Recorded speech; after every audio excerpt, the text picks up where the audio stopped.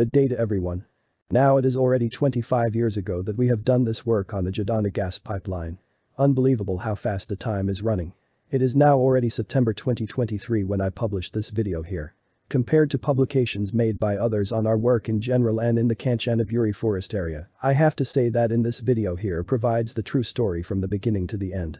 This video was made by myself and my name is Werner Schweps and I was the former Tasco Mannesmann joint venture project director. I was responsible for everything on the project including the construction site. When something went wrong all the blames from PTT and Novagas came to me. Those people had held me even responsible when some of our people had car accidents after work hours. Hardly to believe but true. For information, the Jadana gas pipeline that the Tasco Mannesmann joint venture built between 1997 and 1998 delivers about 25% of Thailand's natural gas demand. The majority of this gas is consumed by the Ratchaburi power station. Some of the gas continues from PTT's operation and maintenance center to other pipelines as well.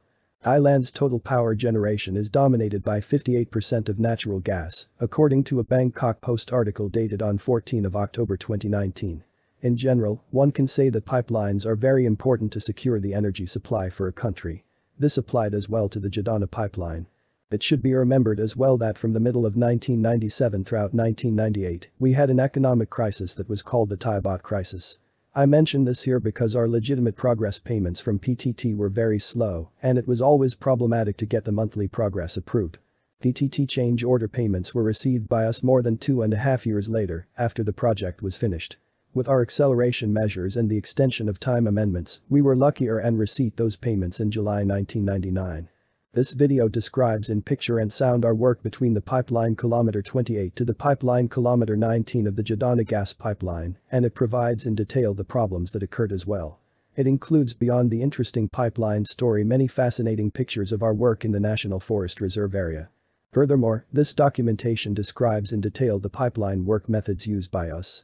I have to mention as well that sadly due to mainly driving accidents some of our people died as well. Rest in peace. To build the 238 kilometer long Jadana pipeline in the specified time frame was a really tough project with having in the peak 1900 people on the job. We were well equipped as well and the working morale of most of our people was good. Due to the circumstance of delay and disruption of our work, we were working all over of the 238 kilometers of pipeline stretch, namely in 20 locations at the same time. After all the years that have passed already, I would say the correct description of our construction work in the 6 kilometer forest area in the forest would be Pipeline mission impossible. Considering all the circumstances that impacted our work I have to say that this matter was really complex and the time pressure to complete the work was extraordinarily tough. Here in this video, I tried to keep the view to the technical work matters as far as possible. However, it has to be mentioned here that PTT did not provide us 47% of the land to build the pipeline as it was required by the contract. However, they insisted that the project completion date was the date as it was specified in the contract, namely for mechanical completion, the 15th of June 1998. Therefore, we worked early on a recover schedule that included a major construction acceleration program. Everyone who reads this and knows the project would agree that we had many challenges, but the biggest challenge of the Jadana gas pipeline for our construction work was the 6 kilometers restricted right-of-way through the Kanchanaburi's Huaykhane National Forest Reserve. Especially the pipeline work in the National Forest area resulted in negative and sometimes completely wrong public media reporting, followed by some unauthorized illegal demonstrations and two areas in which our pipeline construction work was blocked. In reality it was not the Tasco Mannesmann joint venture that was blocked, it was the Thai government with their good intention to secure Thailand's energy. It has to be pointed out as well that the majority of people living in Kanchanaburi were in favor of the Jadana pipeline project. Many of those people where the pipeline was passing through were employed by us. Those people did not like the protesters that came mainly from Bangkok. It was reported that earlier in June 1997 25 village headmen and Kamnan from Kanchanaburi province submitted letters to Thailand's prime minister claiming that 99% of the local inhabitants supported the project. This led to a big pro-pipeline demonstration in June 1997 in Kanchanaburi. In spite of all negative reporting by the television and newspaper media and protests, mainly on Pipeline Kilometer 28 and the other protest at Pipeline Kilometer 152, the Thai government decided by early March of 1998 that the project was allowed to use the route through the forest after PTT had limited the construction right-of-way from 20 meters to 12 meters. On pipeline kilometer 152 on which the pipeline runs adjacent to the road 3085 that is surrounded by farm fields, the route was to be used as specified on the contract drawings without changing anything. Unfortunately, this verdict came very late and the timing of it was of course completely out of our control. As a pipeliner I have to say that a 12-meter right-of-way is insufficient for a normal 42-inch pipeline construction in a easy flatland area. In an extremely difficult mountain area, it was a completely new challenge which we never experienced before. The area at pipeline kilometer 27 and 28 was cleared from protesters on the 6th of March 1998. With this clearance the pipeline work could finally start and commenced on the after the 6th of March 1998 in this area and was at the end successfully completed by the 31st of July 1998. The question why PTT had chosen the pipeline road through the Huaykhane National Forest Reserve is answered in my other video that I have published on YouTube. Jadana, my project experience. However, I will give a short answer here to this question. Time and money savings is the answer. Going back now to the events that were happened.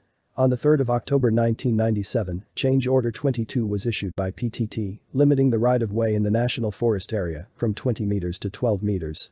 The approval to carry out our work in the entire Thai forestry area between pipeline kilometer 50 and pipeline kilometer 0 was given to us in the construction meeting on the 11th of November 1997. This late approval to proceed with the construction work constituted a huge delay of 32 weeks. At the same time, we prepared a schedule in which we showed the delays occurred in the project, reflecting the new project completion date on the 30th of October 1998. Nevertheless, due to a planned construction acceleration by us the mechanical completion date was improved to the 21st of August 1998. PTT by the beginning of December 1997 acknowledged that TMJV had to mobilize additional manpower and equipment to carry out the recovery work in the area from pipeline kilometer 0 to pipeline kilometer 50.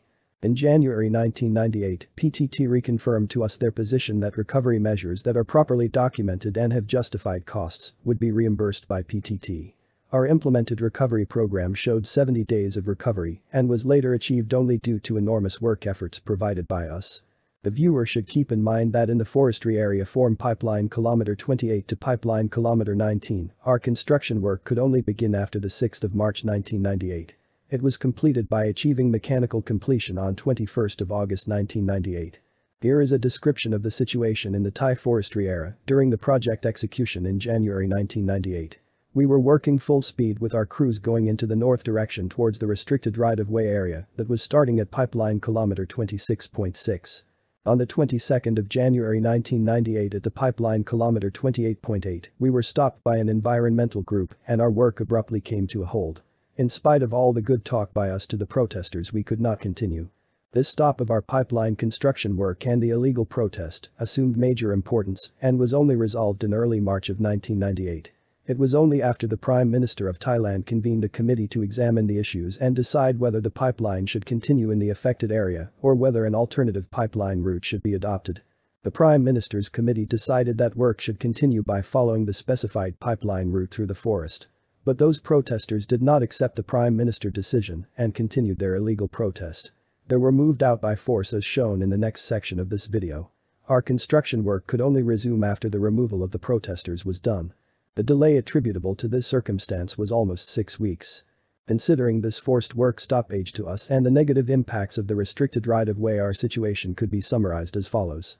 Negative impact number one was that the reduction of the width of the right-of-way imposed upon us a change in our construction methods to be adopted and caused more delays and disruptions to our work in consequence of the lack of working space. Negative impact number 2 was the presence of the marketable trees on the right-of-way in the area of pipeline kilometer 26.8 and pipeline kilometer 20.8 and the time that we spent in removing them. The removal of those trees was ordered by PTT to us.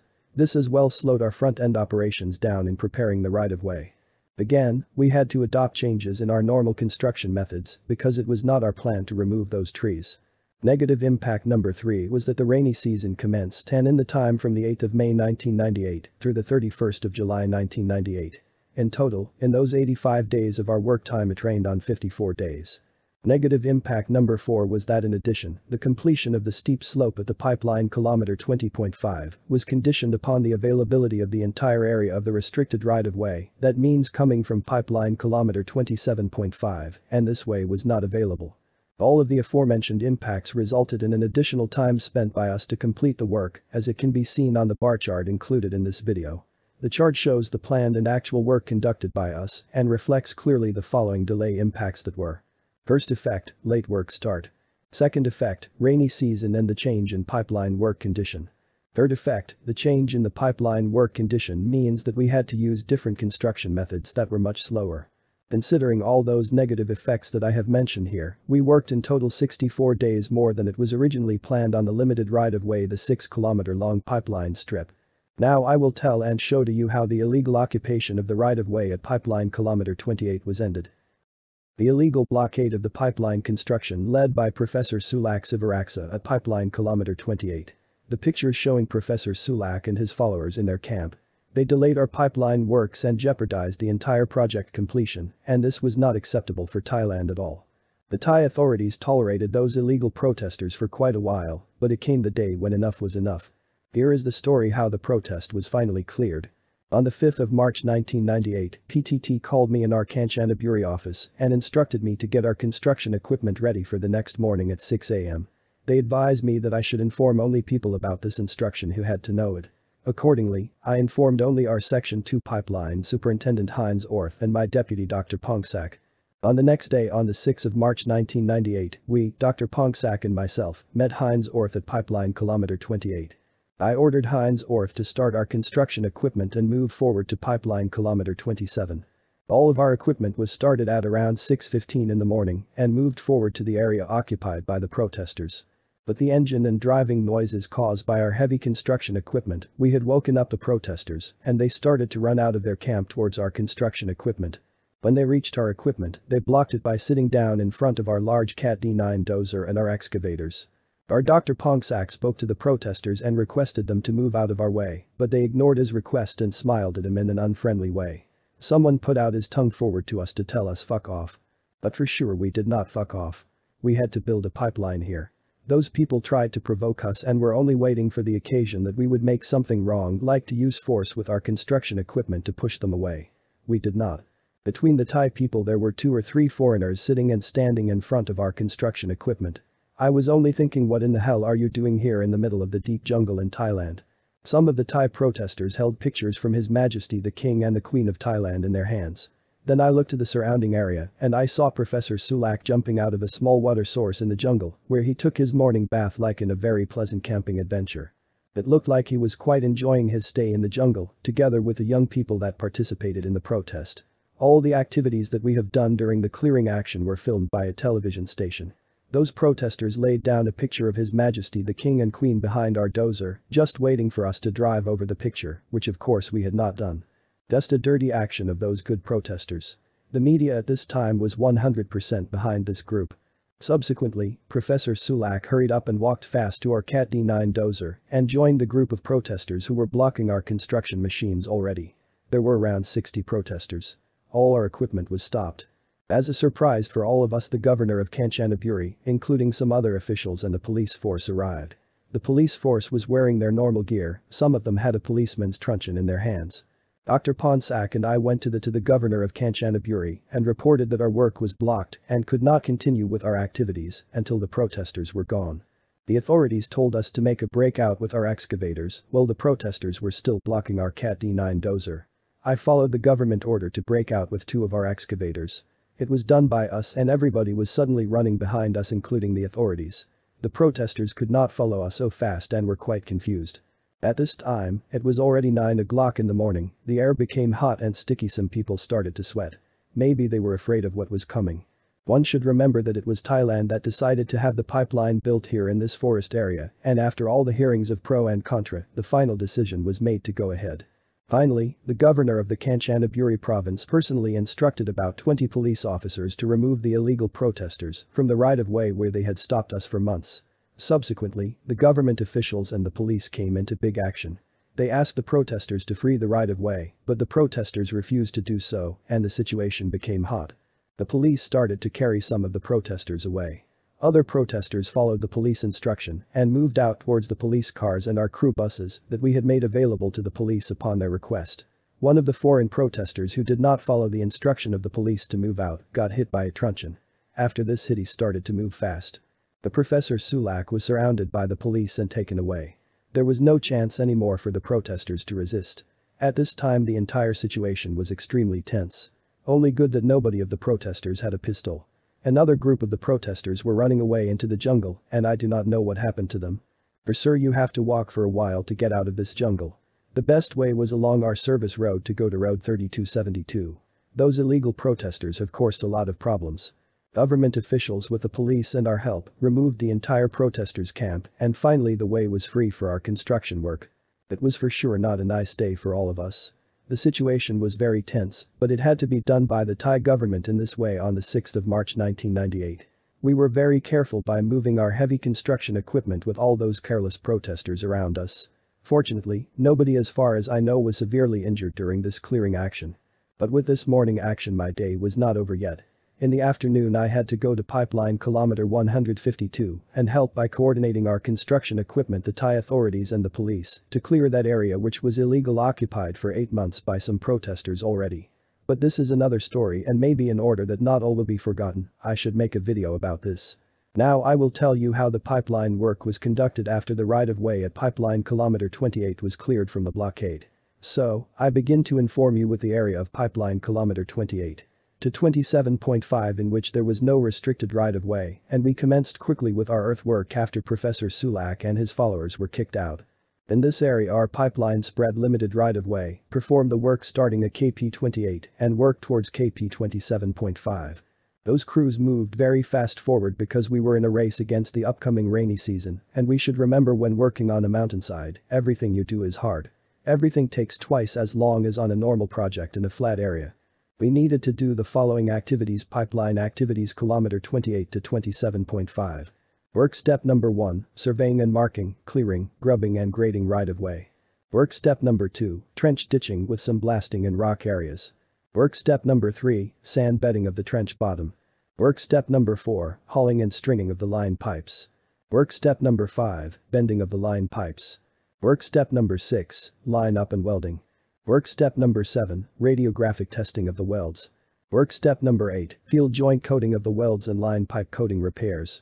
Work step number 9, lowering in which included in one area the placement of some concrete riders. Work step number 10, tie-in work of the pipeline. Work step number 11, backfilling of the pipeline that included sand padding, conduit and warning tape laying. It is time now that I will tell you about the area restricted right-of-way. Our entire logistics had to be mobilized to this area. We had to use this area to stockpile pipes and to store fuel tanks, sandbags, materials, stakes, and equipment parts for maintenance. In addition, we needed space for parking of our construction equipment, workers' trucks. As a kind of office in the area of pipeline kilometer 27.5, we used first our cars and transport buses, later we installed some containers. We needed to install fuel tanks on chain-tracked vehicles. For the limited right-of-way, we modified some containers to be used as offices and where our people would have shelter for catering and bad weather. The work crews needed to be organized and equipped. Modifications on pipe transporters for personnel transportation needed to be done. Every aspect of the project was impacted and driven by the unique mountain working conditions. From getting our workers, equipment and pipe into the limited right-of-way worksite to staging everything on the side of a mountain that still needed to be cleared of dense forestry. This area of the deep jungle was completely isolated. We had only limited radio communication that was working. The steep hill at pipeline kilometer 27.5 was very important since it was the only access and the entrance door to the restricted right-of-way. It is vital to know that only construction equipment on chains was able to climb up this hill. We started to build the right-of-way on this hill on 6 March 1998, immediately after it was free of the illegal occupants. On this hill slope we had heavy cat dozers and excavators working there. To give you the right picture on the foot of this hill pass was the creek Prachamai. This creek was later diverted by us through a 42-inch pipe. Prior to the start of construction by us on the restricted the right-of-way it had to be free of marketable trees, which should be logged and removed by the Thai Forestry Department. This work had to be completed for the whole of the restricted area before our work could be started. The presence of our construction equipment on the right-of-way would have prevented the hauling of trees out of this area. Due to the tremendous time pressure including the dry season weather window I decided to follow somehow unwillingly PTT's request to assist the Thai Forestry Department with our construction equipment to transport the timber out of the right-of-way area. There was no other way for us than to assist, otherwise the clearance would have taken three months by itself. After the right-of-way at the hill of pipeline kilometer 27.5 was prepared our equipment went ahead and removed the log trees and I can tell you we were fast. Given the restricted width of the right-of-way, there was no space available for the separate storage of topsoil. We preserved as much topsoil as was practicable. However, it was unavoidable that that some topsoil became mixed with other excavated material. Some of the special work planning to overcome the right-of-way space restriction was not so easy. I was thinking day and night on the pipe welding and the two subsequent activities namely X-ray testing and joint coating. In my mind I had double joints in order to minimize those activities in the restricted right-of-way. Such a double joint has a weight of around 12 tons. I decided to do a test. On 8th of March 1998 after we successfully conducted a double joint transport test at the steep hill on pipeline kilometer 27.5 and I instructed our staff to use double joints as much as possible. Some people like our idiot of construction manager and our equipment manager were not in favor of it. But Heinz Orth our spread boss was and he liked the double joints a lot. But those double joints the number of bell holes to be excavated went drastically down as well. In total we made 132 manual metal arc welded double joints in a temporary double joint yard opened by us close to block valve station 3. In spite of the incredibly steep terrain of the pipeline route, it worked out very well and resulted in a total length of approximately 3.3 kilometers. Single pipe joints were transported from PTT's Ratchaburi pipe yard to our double joint yard to be welded, tested and joint coated. Our double joint yard was quite busy and trucks were queuing up and waited to be unloaded. With the pipe double joints, we now had a spare cable crane because the double joints were too heavy for this crane and could not be used. We decided to install this cable crane at pipeline kilometer 27.5 to lift up equipment and material on this hill. For pipe laying it was not used. On this occasion I have to tell a story about our equipment manager Alman, rest in peace. This guy was telling me that I could not use the cable crane to transport our staff. I replied and asked him did you lose your mind? When we can transport a 6-ton pipe with this cable crane for sure we can transport people having a weight less than 100 kilogram. After he heard my reply, he was stuttering, then we had to use a cage for the transport. I answered, then hurry up and built one. Some of our people were sometimes quite strange. Maybe too much sunshine on their heads in Thailand. The way to the Jadana pipeline kilometer 27.5 from block valve 3 via road 3272 was around 24 km long. The direct pipeline right-of-way was not usable for trucks. We had built a temporary service road connecting the road 3272 with pipeline kilometer 27.5. From road 3272 we had to turn left on the way to the so-called jungle garden. Our security people had installed road signs to find the way. Of course, in 1998 we did not have Google Maps as well. We used paper maps. Daily maintenance work was carried out on the service road. There was permanently a grader working. This service road included the crossing of the small river Prachimai, on which we had constructed a ford for passing our vehicles. It must be said that PTT's unfriendly construction decision to restrict the right-of-way from 20 to 12 meters resulted in fewer trees being cut than it was originally planned. But this was a logical consequence of the restricted right-of-way, having a total length of 6 kilometers from pipeline kilometer 26.8 to pipeline kilometer 20.8. Of course, in some small areas it was unavoidable for us that the right-of-way was a wider than 12 meters. PTT's engineering and inspection consultant Nova Gas used this matter as a reason for trying not to compensate us for the restricted right-of-way. Such an approach was totally ridiculous.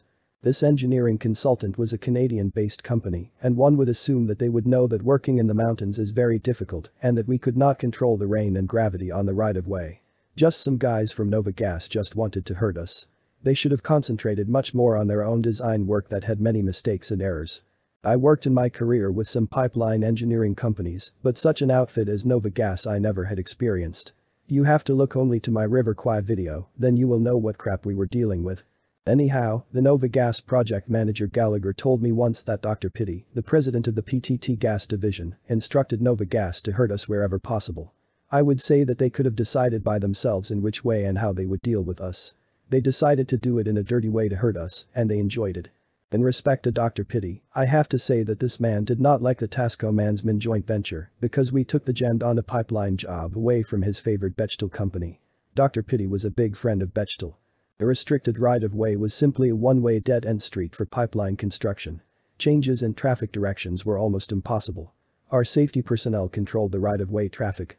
After we had cleared the area up to the end by our heavy Cat D9 dozers, our construction work started at KP 20.8 and moved in the direction to KP 26.8.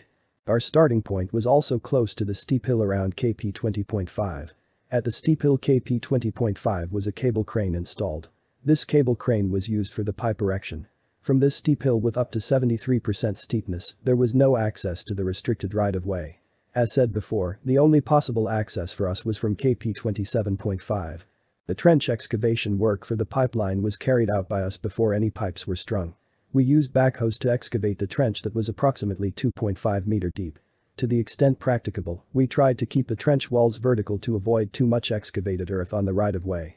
Due to the mountain topography the trench was in some areas up to 3.5 meter deep. As it can be seen on the pictures included in this video, the excavated material had to be graded onto the right the right-of-way. In some few occasions we stored the earth material adjacent to the right-of-way. We had to use rock blasting as well in areas with hard rock. The rock blasting procedure as used by us was drilling holes into a rock mass to a certain depth with some spacing that allowed the explosion to fracture the rock. In this process, the rock was fractured enough to be broken down to the sizes removable by our excavators. This was a controlled blasting technique that we used in order to reduce the amount of overbreak, flying rock, and to control some of the ground vibrations.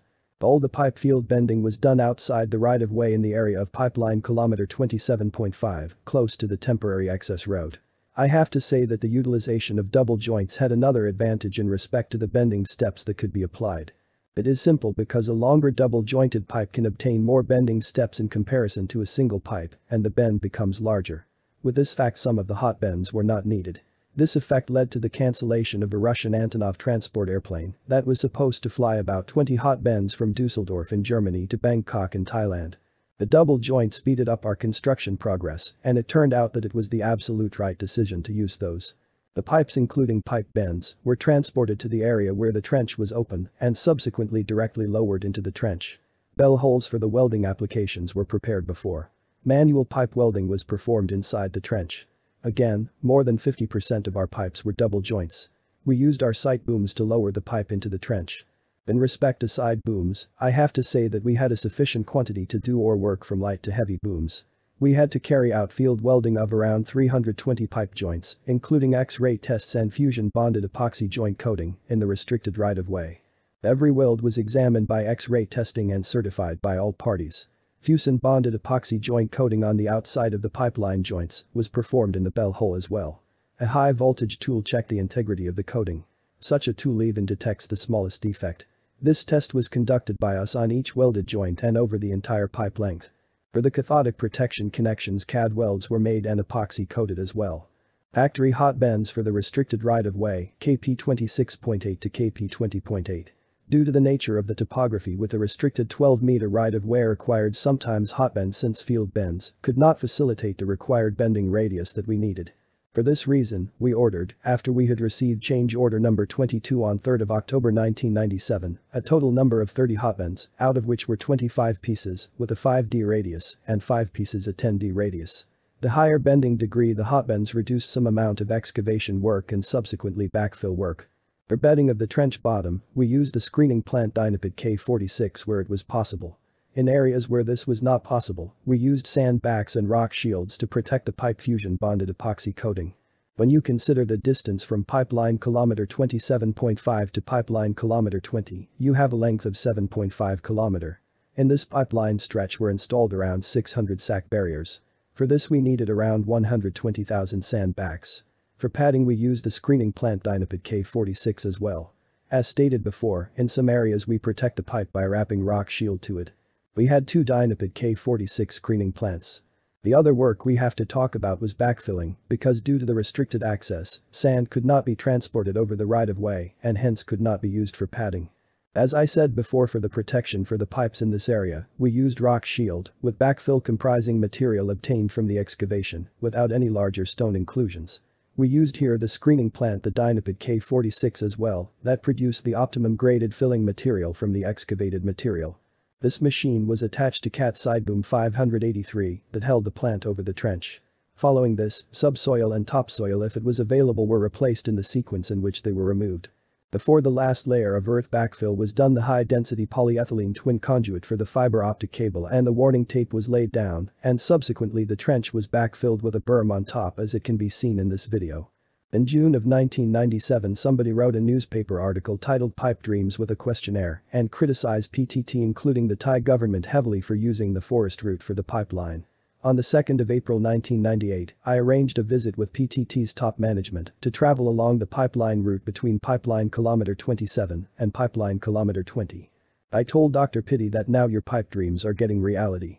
He smiled happily like a young boy. We used a modified chain-tracked pipe loader, and the entire PTT team including Dr. Pitty climbed on, and we went down the entire way of the restricted right-of-way. The whole PTT team was impressed by what they saw and enjoyed this trip. In spite of all the nice smiles that Dr. Pitty had, the single biggest impact for our work in the mountain area was the rain. Precipitation that would be shrugged off on a normal worksite became cause for alarm. Everybody from us was always watching the sky. But watching the sky did not help a lot. On the 8th of May 1998 the rainy season started and this was a significant delay impact and caused an extraordinarily safety hazard to our pipeline workers and equipment. Heinz Orth, a very experienced pipeliner told me I never saw the weather impact on a project like this one. A half inch of rain would make the ground so slick you could not climb to the worksite using your hands and feet. And if you did, you could slide all the way to the bottom. Of course, we as pipeliners knew that rain has a significant impact when it comes to our pipeline construction and causes for sure delays. Our pipeline construction work relied heavily on good weather conditions in order to carry out work tasks effectively and this especially in an area with steep slopes and a narrow right-of-way. Our original pipeline construction schedule was planned in such a way that in the mountain section, we would work not in the rainy season. Due to the facts stated in this video before this was not possible anymore. Our construction work now conducted in the rainy season caused significant delays that led to increased costs, and our entire work became more dangerous by a very slippery right-of-way and trench collapses. Over and beyond the rain flushed away sandbags located at the trench bottom used for bedding, and many other safety hazards occurred to workers and equipment, such as stormwater runoffs and even landslides. It stopped all our driving with pickups, trucks and even construction equipment driven by steel chains. We installed snow chains on our pickups, but this could also not help a lot. Our cars and equipment repairs increased dramatically. All of this caused significantly slower progress of our work. Let me just summarize once more our work activities in short. After the completion of the right-of-way the trench was excavated. Most of the excavated material was graded onto the right-of-way in order to keep it free for equipment, material and personnel movements. The pipe laying started from KP 20.800 onwards and went into the direction of KP 26.800. Due to the method of laying of pipes in the trench, there was also additional effort for the preparation of bell holes required at each of the field joints, which involved additional excavation and backfill work, as well as the storage of the excavated material. Here helped the usage of double joints and minimized the excavation of bell holes. It became also required to have hard ditch plugs installed in the trench in areas with slopes. The backfill and reinstatement operation of the pipeline trench and right-of-way was carried out as follows. 1. Rock shield was placed, geotextile, at rocky areas of the pipeline to protect the FBE coating. 2. Sack barriers were placed into the trench. 3. First layer of backfill with excavated material was placed into the trench. 4. Fiber optic cable twin duct was installed on top of the pipeline. 5. Pipeline warning tape was installed. 6. Final backfill was placed into the trench with the excavated material. 7. Cleanup and restoration including pipeline markers, aerial signs, pipeline erosion control, including installed diversion berms, slope stabilization and revegetation. From pipeline kilometer 26.8, we approached a hill located at pipeline kilometer 27.5. At this hill the entire right-of-way work with a width of 20 meters was already completed. With this the pipeline work became easier again because the right-of-way was wider. Our pipe work was done from the top to the bottom because we used the pipeline that was already in place on the restricted right-of-way as an anchor for the pipes to be installed. Here we excavated the trench first as well and laid down our pipe subsequently. Down at the bottom of the trench was the Creek Prachimai that we had diverted as I told you before. In the area we experienced some rock. This rock was removed by excavators including some rock hammers. Of course, in this area we had radio communication. Our fuel tanks to fill up our equipment and everything else were close by at the bottom of the slope and let me say the pipeliner life was improved, especially when it rained because we were just nearer to our own infrastructure that we had built up by ourselves there. It was just safer there to work.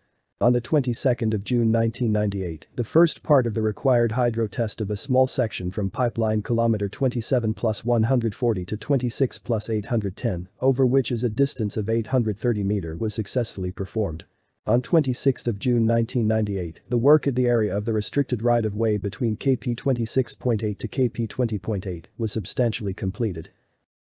Now before I come to the steep mountain slope, I have to tell you another short story that is in my other video that I have published on YouTube. Jadana, my project experience and length explained, and I will keep it very short here.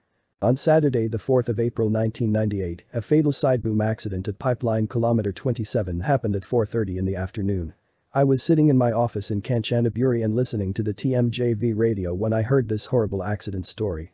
I believe when I saw the entire area and situation at pipeline kilometer 27 on Sunday morning on the 5th of April 1998 that the operator of this side boom was drunk and was speeding with our side boom like a racing driver.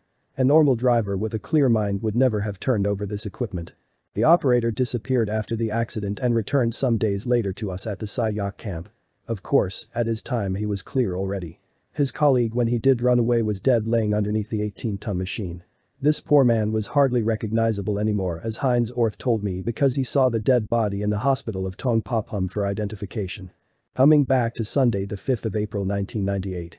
During our salvage some of our people passed by and told us that a young elephant around pipeline kilometer 23 on the restricted right-of-way went into the pipeline trench and was unable to get out. It was around 10.30 in the morning. After the salvage action was done by us, we all climbed on a side boom and drove to pipeline kilometer 23. There we saw the young elephant in the trench. First of all, I got furious with our staff and asked why no passages for wildlife were made in the trench. Such passages are a common pipeline practice in areas with wildlife and all the people present should have known this. It is very easy to do it as well. As number one here to mention that it was another failure of our idiot construction manager Warler. But Heinz Orth was not clean here as well. I received only senseless answers from our staff. My instruction was given to fill up a part of the trench so that the animal could walk out. As soon as the passage was finished by using an excavator filling up a part of the trench with earth the animal walked unharmed out. From this entire action pictures were made as well. What a very bad weekend it was the 4th and 5th of April 1998. The next morning PTT's project director Sompong called me and seemed to be quite nervous. He stated to me that there was a picture in a Bangkok newspaper showing the elephant in the pipeline trench. Furthermore, he stated that the NGO obtained those pictures illegally from Photoshop in Kanchanaburi, to which we gave our film for development. He said that PTT's governor Paulus Sukosh was very upset with the situation and it would have consequences. My reply was why. When PTT routes a 42-inch pipeline through the middle of a deep virgin forest, it should not be a surprise for anyone that there are wild animals and that something could happen to the wildlife.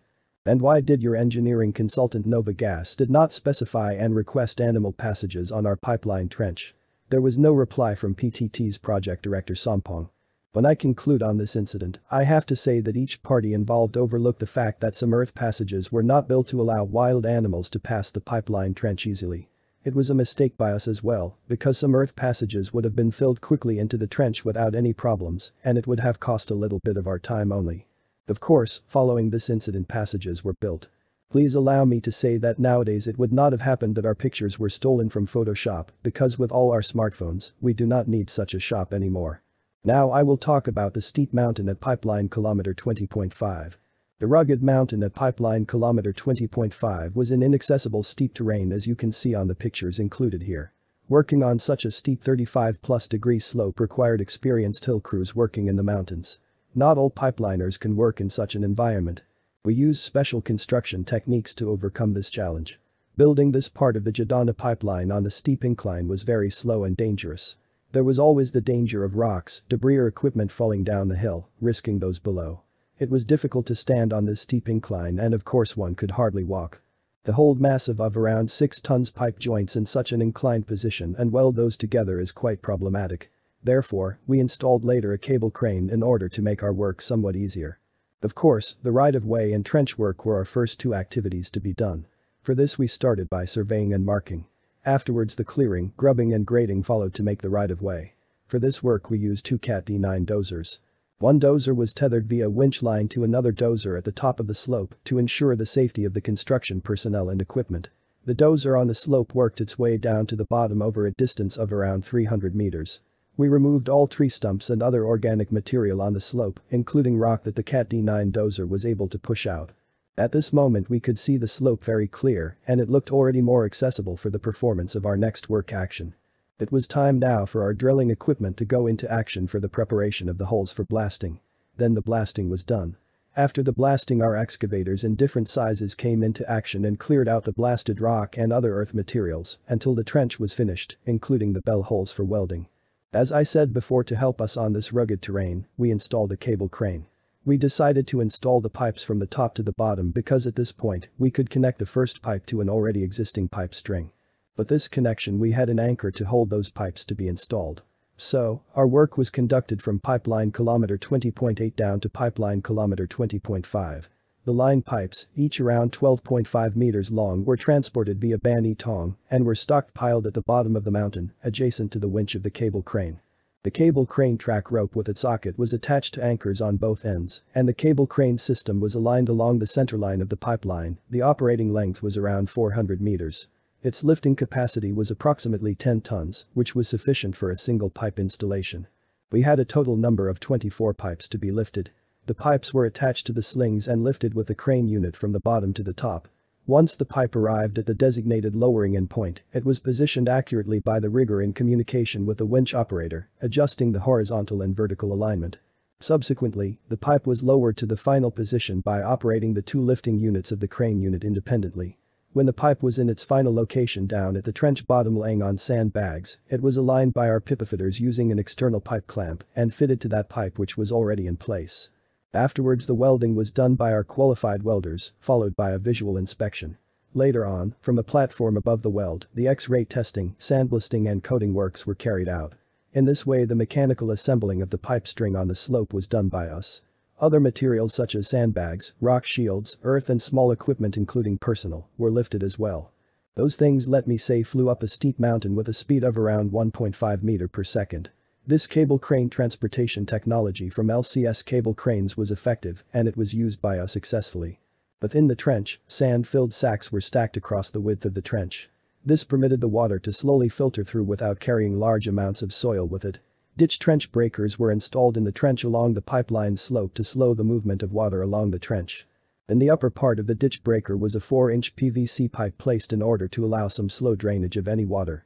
The pipeline was padded and the trench backfilled by equipment tethered to the winch tractors. We used the cable crane as well to lift up earth material in a shut. Upon arrival to its location the shut was emptied and the action was repeated. Excavators did the required backfill activities to fill up the trench. A layer of rock pieces and riprap was installed as well, and after this vetiver grass was planted. On 7 July 1998 our pipeline hydro test was successfully performed from pipeline kilometer 26 plus 810 to 17 plus 892 over a distance of 8.418 meter. On the 31st of July 1998 our entire work was completed on the steep slope at pipeline kilometer 20.5. On the 21st of August 1998 mechanical completion was achieved instead of 15th of June 1998, a delay of 67 days that proved that our acceleration work was successfully executed. Here one can only say congratulations to the Tasco Mannesmann joint venture for the good work performed. On the 21st of September 1998 was the start of the pipeline system operation. It was changed by PTT from the original date of 15th of August 1998. On the 26th of September 1998, PTT agreed to our time extension request and gave us an additional 101 days. With this agreement to extend the contract time, PTT acknowledged that the delay which occurred on the project was completely out of our control. To give you an idea where this pipeline location of this steep slope is, you would have to go to Bani Tong then Somsak mining, subsequent to block valve 2 and pass it for 2 kilometers and you arrive at the slope. But this is for people only that are looking for an adventure. In the 25 years after the Jadana project was finished I visited many pipeline points, but I never went back to this slope. Goodbye and thank you for watching.